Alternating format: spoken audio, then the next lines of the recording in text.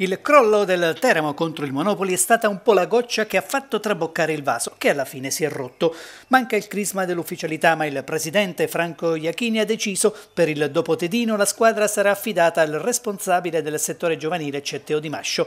Scelta in questo momento forse più logica perché Di Mascio è arrivato in estate insieme a Tedino e dunque conosce e condivide il progetto calcistico biancorosso. Non solo, ma in questo momento del campionato prendere un altro allenatore servirebbe relativamente anche per via di una classifica che è difficile migliorare in modo sensibile. Molto meglio lavorare dall'interno per ricompattare l'ambiente e centrare l'obiettivo minimo dei playoff. Si diceva della misura colma avvenuta dopo lo 0-3 del Bonolis contro il Monopoli. Per la verità critiche sul tecnico erano piovute anche prima per la mancanza, ad esempio, di gioco nelle trasferte. Quindi le quattro vittorie in sei partite nell'anno nuovo avevano un po' placato le acque per ridiventare agitate e vorticose dopo il rovescio con il Monopoli, squadra forte e avvezza ai blitz esterni, ben nove i colpacci, ma agevolata anche da alcune scelte tecniche discutibili.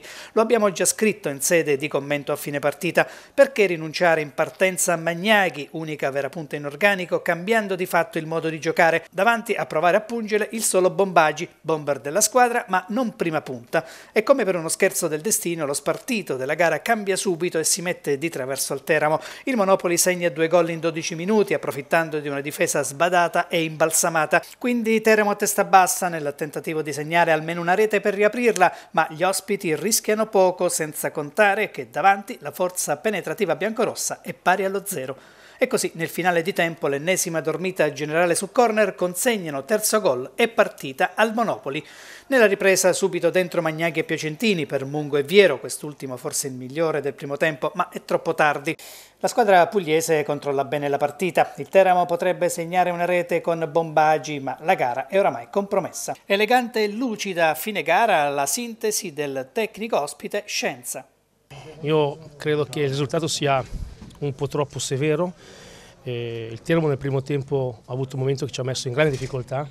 A mio avviso, non vorrei passare per retorico, ma è una delle squadre più forti tecnicamente del campionato. Difficilmente abbiamo subito una, un giro palla e un palleggio da una parte e dall'altra così veemente, così preciso.